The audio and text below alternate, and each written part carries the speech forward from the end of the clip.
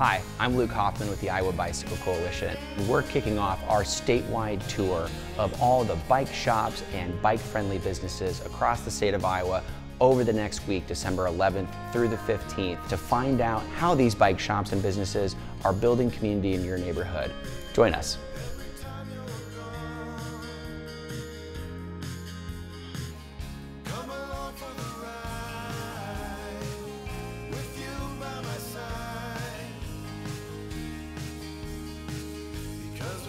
Hey, I'm Luke with the Iowa Bicycle Coalition. Really excited to be here. We're on our Iowa Bike Shop Tour. Welcome, welcome Luke, welcome Iowa Bicycle Coalition. My name is Jeremy Lewis. I'm the executive director, the first executive director of uh, the Street Collective. We take donated bikes we restore them, we give a lot away, and uh, we also sell bikes at affordable rates. We're not your sort of traditional bike shop where we'll actually do the work for you, but we consider it a sort of do it together ethos. So anybody can come here with any challenge they're sort of facing. If they're willing to get their hands dirty, then we'll give them the tools, the knowledge. They walk on in, and as you can see by looking it around, there's a lot of things going on here. So we have volunteers here, we have individuals that are working on their own bikes, we have staff here that are building bikes for a bike giveaway. We give away about one bike for every two we sell.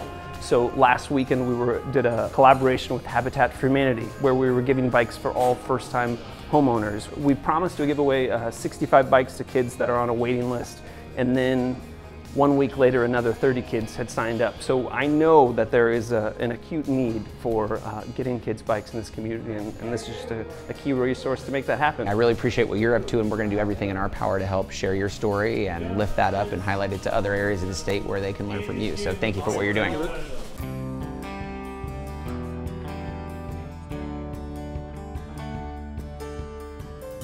Really excited to talk to you. We're at Scheels today. Can you tell us about who you are and what you do here at Scheels? I'm Jen Bast. I'm our service shop lead. I basically um, lead our service shop. Um, we do all the bike, ski, snowboard, all the service work that needs to happen. We started actually doing some community cleanup to some of the mountain bike trails because that's where my uh, love is.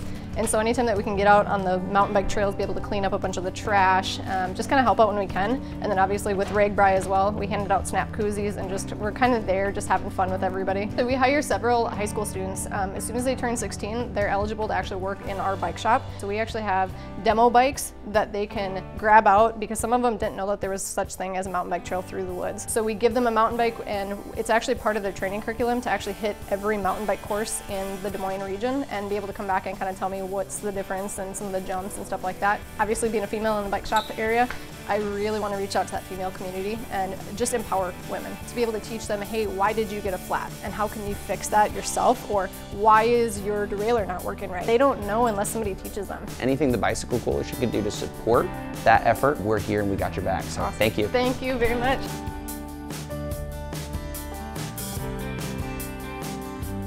Tell us about yourself and about your shop. Yeah, thanks. So my name is Jeff Hubin. I'm the owner of Chain and Spoke in Des Moines, Iowa. We're a coffee shop and bike shop located on the Ingersoll Avenue. Coffee and cycling is two things that really have a long history together, and we're looking to bring some of that uh, to the Des Moines area. So we opened up earlier this year. Uh, we put a real focus on high quality coffee and high quality bicycles and then giving the opportunity for fans of both of those to interact. And if you're just into coffee and not into bikes, it's perfectly fine. Uh, but maybe you'll catch the bug by getting a chance to look at some of the beautiful bikes that we have back here on display. We have people doing business meetings, first meetings, um, but then also doing planning on cycling related events or other things in that community gives them a chance to meet over a cup of coffee, but you never know who you're going to run into, who knows someone else, who knows someone else, and then can actually make those things happen. Our lineup is killer. We put a high focus on production in the US, both doing handmade carbon fiber, steel, and titanium.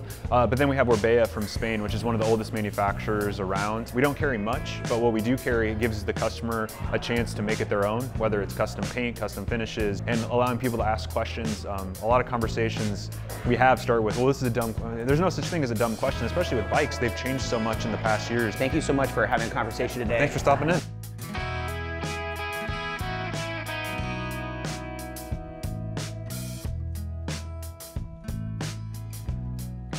good to see you, Matt. Good to see you. We had to stop by the RAGBRAI headquarters here today. Talk to us about the interconnectivity between RAGBRAI and bike shops and other bike-friendly businesses that you partner with? Well, as you travel across the state, there are communities that you drive through that if you blink, you miss it. So it's those small hometowns that at one point in life they were thriving, and as kids grow up, they move out, and that, that's it's dying. To be able to bring uh, you know, our route through a town of 200 people that for one day they turn from 200 to 50,000 or whatever that looks like is pretty incredible for them. They want to show up more because they know this is their one shot to showcase their community, why they still live there and what makes it, them so special. So I will find as many small towns to roll through and as long as they have the right committee and the right community behind them, they, they can pull it off. Can you speak to the economic impact that RAGBRAI has? If you look at the scope of what RAGBRAI is, we are a world event. You know, so I was thinking about a guy that came from Germany.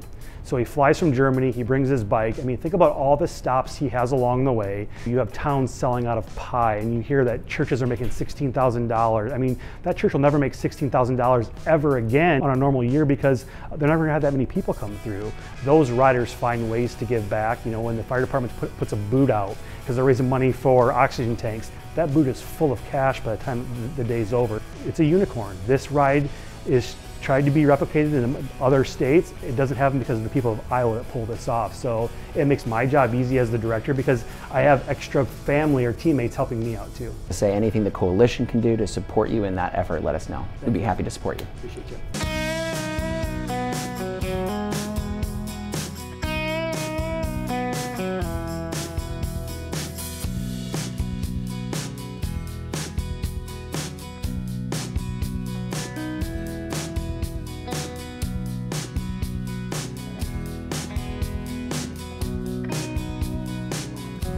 Hey, I'm Luke with the Iowa Bicycle Coalition. How are you? Hey Luke, I'm Bridget Exman, Assistant Superintendent here in Mason City School District. We heard about this really cool program that Trek has with the local bike shop and wanted to come check it out. Tell us a little bit about that. Yeah, absolutely. So uh, we're pretty excited. We now have a mountain biking program for our students in grades 5 all the way through grade 12. We were only able to do that because of a great partnership that we have with Wayne Ski and Cycle here, a local shop, and the work that they did with Trek to get us bikes for all of our kids to ride in PE and also in our after school clubs. Like a lot of communities in Iowa, we're facing depopulation and we're trying to figure out how do we make this an attractive place to live, to learn, to work. So one of the ways that we believe we can do that is by connecting our kids to the awesome resources that we have in the community. This was a way for us to get kids on bikes, get them out to experience the great trail systems that we have, helping kids create a vision for a healthy and active lifestyle long after PE class is gone, give them ways that they can learn new things and be a part of a community. That sense of belonging is really critical as we think about how we make sure that kids come to school ready to learn. All of those things kind of converge in this community partnership um, and, and work to provide something that's been really exciting for our kids and for our community.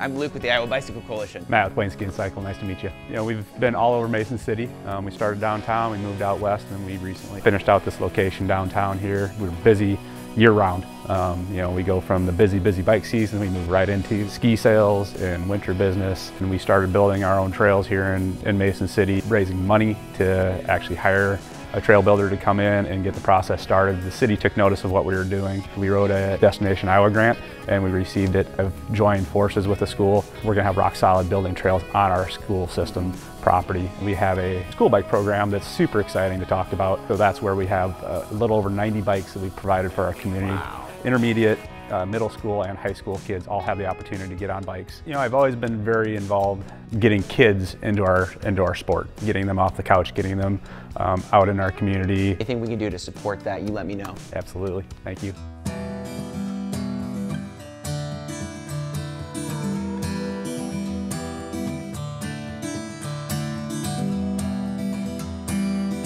Hey Ryan, thank you so much for meeting with me today. Yeah. Tell us a little bit about your operation. World Bikes, we are established in 1974. I'm the second owner. Uh, I took over uh, about 17 years ago. Full service bike shop, sales, service, rentals, heavily involved in the Iowa City community. Uh, we have uh, a large gravel ride that meets here on Monday nights. Just last week we did uh, ride out to do some uh, holiday lights uh, viewing. Had about 50 people show up for that. Farmers Market Valets, involvement with local schools. We're actually just uh, doing a gift basket project with one of the local schools to help families in need. So we're donating a bunch of bikes to that. You know, there's a lot of coverage in the bike industry and helping out the people that are already riding bikes, but we're trying to really cultivate a culture of, of new riders and kids and families and facilities to be able able to utilize the, the bikes that are going out the door. Thank you so much for doing this with us right. and letting Thanks, us take over your space.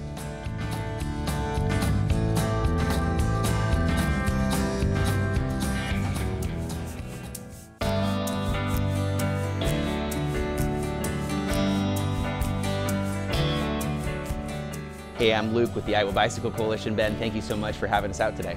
Absolutely. Tell us about who you are and what you do here. Albrecht's has been a part of Sioux City um, for about 100 years now. It started as a uh, Harley Davidson shop. Somewhere along the way they started selling Schwinn's. Harley Davidson didn't like that, so they went with bicycles. That's really fun. And been primarily the only bike shop in town since. You can almost feel it in the bones of the building. Yep. Some of the history. It's just so Sioux City, I guess. Uh, we help, you know, someone who's 75 that comes in and we'll talk about how they got their first bike here. And uh, that's my story as well. You got your first bike here. Mm-hmm. You did. That's really cool. How old were you? Probably nine. Nine years old. You Yeah. came in and got your first bike. Yep, it was a little Specialized Rockhopper. It's just history kind of repeating itself, I guess, with each generation. Anyone who's down and out, who is using the bike just to get by, all the way up to um, people that are uh, very honed in on the hobby. In terms of the community that the shop is helping to build, there's the Siouxland Cyclist Club, which we have a few of those folks here today. Tell us about your connection with the club and maybe any other rides that happen in the area. Yeah, so they help out a lot with fundraisers for um, different organizations here in town. They just like having fun. They need their bike service. They come here. They often will let our mechanics know what maybe their ride is missing. If something's not properly adjusted, you're going to feel it. Thank you, Ben, for all the work that you're doing. We appreciate it. And if there's anything we can do to help you and partner with you and support you, let me know. Thank you. Hey, how's it going, Dan? Hey, good to see you. see you, Luke. Thanks for coming out. Yeah, thanks for having us out here. I'm You really bet. excited to talk to you about the cutting edge research and some of the scientific applications of that research. Great. Well, welcome to the Driving Safety Research Institute, home of the National Advanced Driving Simulator. This is one of the largest driving simulators in the world here at the University of Iowa. Uh, we study uh, driver behavior and develop technologies to prevent crashes, and especially with vulnerable road users like bicyclists, pedestrians, and so forth. So we look at next generation technologies to avoid crashes, but also understand driver behavior. How long does it take to send a text message? How long are your eyes off the roadway. And all those kinds of things can go into uh, the next generation of vehicle. And I think it's really critical that in all the technologies that we develop in lane keeping systems, forward collision warning, pedestrians and cyclists are a key user that we look at. It's a major public health issue. I hope we can get some legislators to Yeah. agree with you. All right, thanks Thank so you. much.